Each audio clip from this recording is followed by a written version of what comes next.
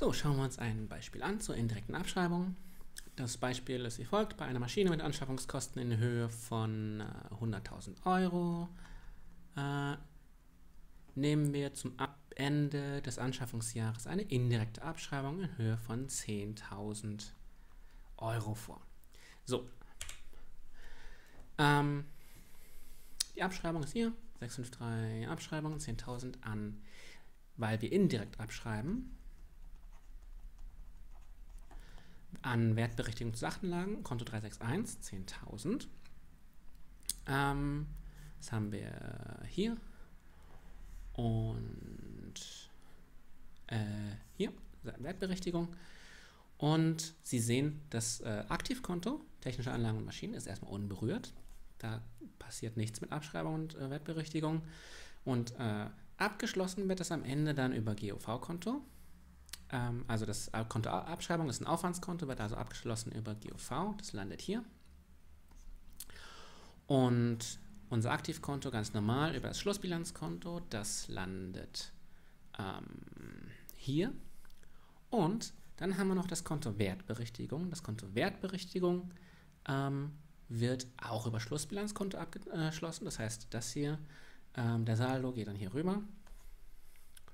Und Sie sehen hier in der Schlussbilanz haben wir dann ganz klar aufgelistet der Buchwert der Maschine und die Wertberichtigung. Also das, was an Wertverlust äh, jetzt da gewesen ist, ähm, statt einfach nur die, äh, die, die, Differ dem, die Differenz davon. Äh, statt einfach nur, ähm, genau, die Differenz davon. Ähm, genau, auf der Aktivseite haben wir dann die Höhe der ursprünglichen äh, Anschaffungskosten, auf der Passivseite die Wertberichtigung in Höhe von 10.000 Euro. Und der aktuelle quasi Netto-Buchwert ähm, lässt sich dann rechnerisch als die Differenz ermitteln, also 90.000 Euro. Sie sehen, äh, die Bilanzsumme ist äh, nicht berührt davon, aber ähm, in der Schlussbilanz ist das, haben wir dann mehr Informationen vorliegen. So, der Abgang von Wirtschaftsgütern ähm, des Anlagevermögens erfolgt nicht immer zum entsprechenden Buchwert. Äh, ebenso werden beim Verkauf von Vermögensgegenständen selten Verkaufserlöse erzielt, die mit den ausgewiesenen Buchwerten übereinstimmen. Buchungstechnisch ist beim Abgang bzw. Verkauf von Anlagevermögen zum einen die Bestandsminderung im Aktivkonto zu buchen, zum anderen ist die entsprechende Gegenbuchung abhängig von der Höhe und Form der bisherigen Abschreibungsbuchungen und von den Umständen des Abgangs bzw. Verkaufs vorzunehmen. Schauen wir uns dazu eins von vielen Beispielen an. Ähm, oder ein Beispiel in mehreren Fällen. Wir ähm, schreiben eine Maschine mit Anschaffungskosten in Höhe von 40.000 Euro äh, über eine Nutzungsdauer von fünf Jahren ab. Linear. So, der jährliche Abschreibungsbetrag beträgt entsprechend äh, jährlich 8000 Euro. Das ist nichts anderes als äh, 40.000 durch 5. Okay? Ähm, Zunächst schauen wir uns an die Darstellung des Abgangs aus dem Anlagenbestand ohne Gegenwert. Also Fall 1, äh, der Abgang der Maschine erfolgt nach Ablauf der planmäßigen Nutzungsdauer, also am Ende der Nutzungsdauer. Der Restwert beträgt 1 Euro, weil wir uns nicht sicher waren. Ähm, und dann muss man eben diesen Erinnerungswert von 1 Euro ausbuchen. Das sieht dann so aus. Dieser 1 Euro, der noch äh, im Aktivkonto drin war, äh, wird dann auch abgeschrieben.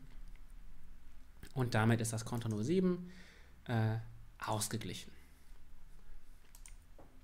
Zweiter Fall, der Abgang der Maschine erfolgt am Ende des letzten planmäßigen Nutzungsjahres, genau wie in 1, aber wir haben noch einen Restwert in Höhe von 8000 Euro. Ähm, die letzte planmäßige Abschreibung ist dann entsprechend so vorzunehmen, dass diese äh, restlichen 8000 Euro aus dem Aktivkonto rausgenommen werden, äh, abgeschrieben werden und damit ist entsprechend äh, das Aktivkonto wieder ausgeglichen. Der dritte Fall, der möglich ist, ist, ähm, der Abgang der Maschine erfolgt im Oktober des vorletzten Jahres der planmäßigen Nutzungsdauer, wobei der Restwert in dem, zu diesem Zeitpunkt dann noch 16.000 Euro beträgt. und die Maschine ist komplett auszubuchen. So, wie macht man das? Die Erfassung der Abschreibung ist dabei abhängig von dem Zeitpunkt, zu dem der Abgang der Anlage erfolgt. Der Zeitraum der planmäßigen Abschreibung endet mit dem Monat, der dem Abgang vorausgeht. In diesem Fall mit dem September des vorletzten Nutzungsjahres. Also beträgt die planmäßige Abschreibung 6000 Euro. Und zwar ist das ähm, 9 Zwölftel von 8000. Okay? Weil, äh, weil der, der September noch drin steckt. Und der verbleibende Restbuchwert von 10.000 ist dann außerplanmäßig abzuschreiben. Sieht dann so aus, die Abschreibung, die außerplanmäßige Abschreibung und der Restwert von 16.000 ist dann ganz ausgebucht, rausgebucht aus dem Aktivkonto und das Aktivkonto ist dann wieder ausgeglichen.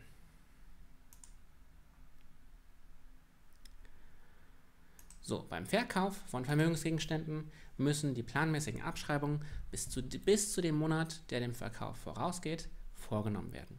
Und der Verkauf stellt grundsätzlich einen umsatzsteuerpflichtigen Vorgang dar. Außerdem ist abhängig vom Verhältnis des Verkaufspreises zum Restbuchwert äh, eine der in der Grafik dargestellten Buchungen vorzunehmen. Okay, also äh, wir haben entweder den Fall, dass wir einen Preis erzielen, der genau dem Buchwert entspricht, einen Preis, der über dem Buchwert liegt oder einen Preis unter Buchwert. Zum Buchwert, dann müssen wir nur den Verkaufspreis äh, exklusive Umsatzsteuer ähm, benutzen und das entspricht genau dem Buchwert. Okay, in diesem Fall hier übersteigt der Verkaufspreis ähm, ohne die Umsatzsteuer den Buchwert und dann müssen die Erträge aus, dann werden gebucht Erträge aus dem Abgang von Vermögensgegenständen. Das ist Konto 546. Und wenn der Verkaufspreis eben kleiner als der Buchwert ist, haben wir entsprechend das Konto 696, das ist äh, Verluste aus dem Abgang von Vermögensgegenständen.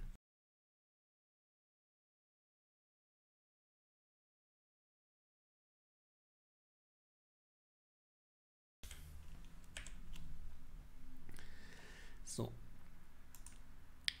Das Beispiel wird jetzt so verändert, dass wir die Maschine im April des äh, letzten planmäßigen Nutzungsjahres aus dem Anlagenbestand nehmen und sie gegen Barzahlung verkaufen. Steht hier alles drin. Ähm, der Restwert der Maschine zu Beginn des letzten Nutzungsjahres waren 8000 Euro. Ähm, und die planmäßige Abschreibung wird noch für drei Monate vorgenommen, entspricht, äh, entspricht dann eben 2000, also äh,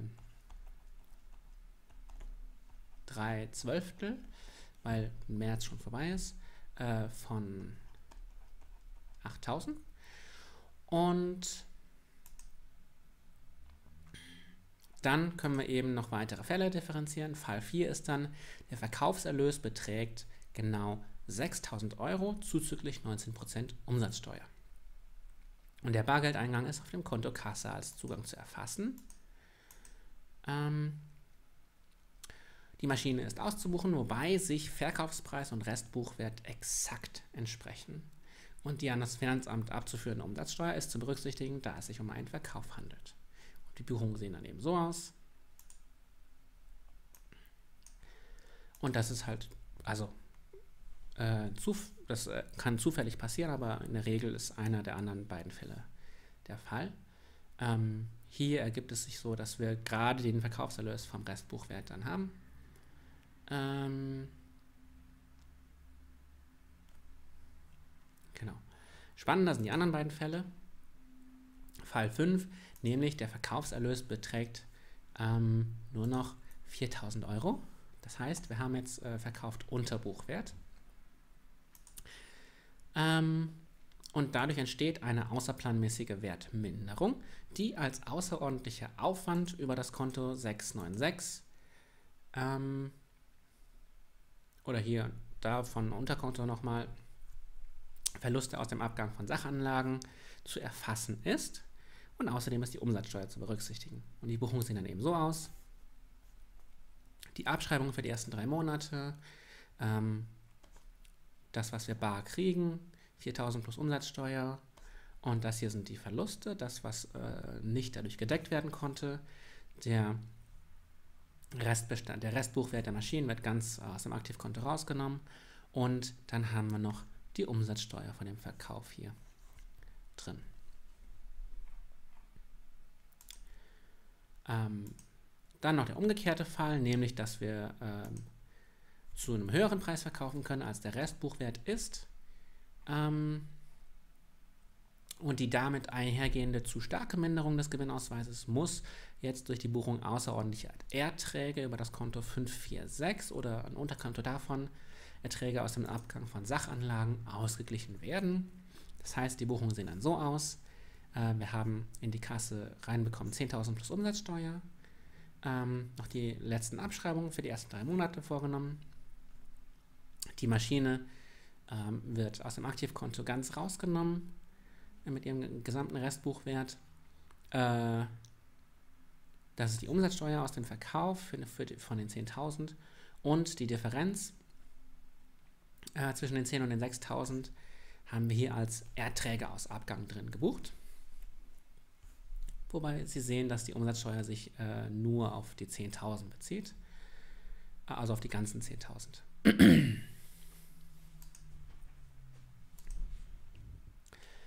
Jetzt schauen wir uns das Ganze äh, nochmal an für den Fall der indirekten Abschreibung. Und zwar zu Beginn des fünften Jahres ist die Situation der Maschine äh, wie folgt.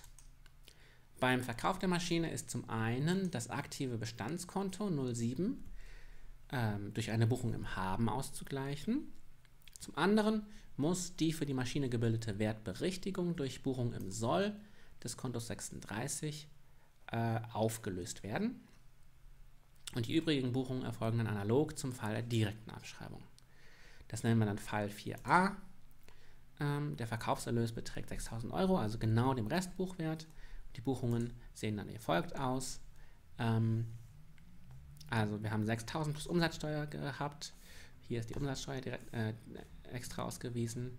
Dann die planmäßige Abschreibung von 2.000 äh, für die ersten drei Monate und die Wertberichtigungen werden hier rausgenommen. Äh, 32.000 Euro, das was bis dahin im Konto Wertberichtigung angesammelt war. Und die Maschine wird mit ihrem Restbuchwert von 40.000 ähm, komplett ausgebucht. Äh, Im Fall 5a ist dann der Verkaufserlös 4.000 Euro also unter dem Restbuchwert. Und dann sieht das Ganze so aus, dass ähm, wir hier den Verkaufserlös äh, brutto haben, hier die Umsatzsteuer dazu, ähm, die planmäßigen Abschreibungen für die ersten drei Monate, die angesammelten Wertberichtigungen werden ähm, äh, hier noch ausgebucht und Verluste aus Abgang werden noch gebucht, wie, wie gehabt. Genauso wie bei der direkten Abschreibung. Und damit ist das Konto das Aktivkonto technische Anlagen und Maschinen ausgeglichen. So, in der Praxis wird der Verkauf eines Anlagegutes häufig mit dem kompletten Nettoverkaufserlös über das Konto 5141 Erlöse aus Anlagenverkauf gebucht. Anlagenabgänge werden in der Praxis mit ihrem Restbuchwert über das Aufwandskonto 6979 Anlagenabgänge erfasst und den Erlösen aus Anlagenverkäufen im GOV-Konto gegenübergestellt. Wobei der Gewinn oder der Verlust aus den Anlagenverkäufen dann deutlich wird.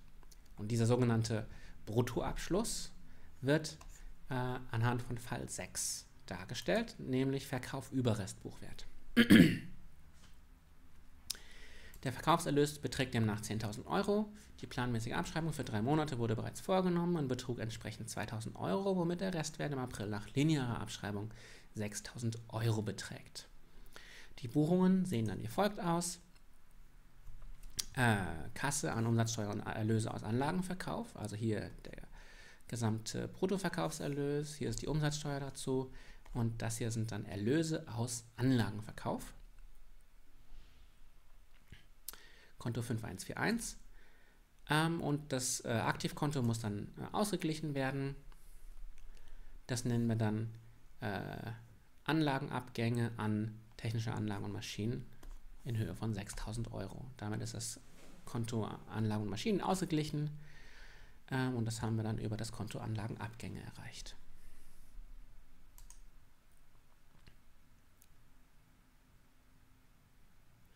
Und hier haben wir jetzt noch äh, die Kontendarstellung zu dem eben beschriebenen Bruttoabschluss, einfach nur zur Übersicht. Und äh, bei Anwendung so einer Methode ist das umsatzsteuerliche Entgelt aus den Erlöskonten in voller Höhe ersichtlich.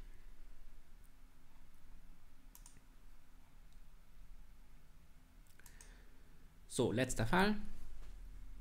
Das ist ein Sonderfall. Bei der Übernahme eines Anlagenvermögensgegenstandes in das Privatvermögen eines Gesellschafters handelt es sich analog zur Privatentnahme von Fertigerzeugnissen um einen umsatzsteuerpflichtigen Vorgang. Die Entnahme erfolgt zum sogenannten Teilwert und dieser Teilwert entspricht dem Marktwert bzw. Tageswert des Vermögensgegenstandes zum Zeitpunkt der Entnahme. Im folgenden Beispiel wird wieder mit Bruttoabschluss gebucht. Ein Gesellschafter, der einer unserer Gesellschafter entnimmt dem Betriebsvermögen im Mai einen nicht mehr benötigten PKW der einen Restbuchwert von 2600 Euro hat, nach bereits vorgenommener anteiliger Jahresabschreibung. Der Teilwert beträgt 3500 Euro und die Buchungen sehen dann so aus.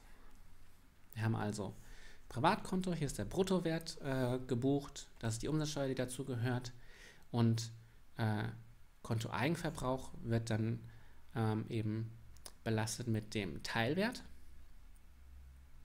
und das Konto Fuhrpark wird dann komplett ähm, quasi gemindert um den äh, echten Restbuchwert von 2600 äh, Euro und das wird dann über Anlagenabgänge gemacht. Das ist dann die Bruttomethode davon. Das war alles, was wir zu diesem Kapitel zu sagen hatten.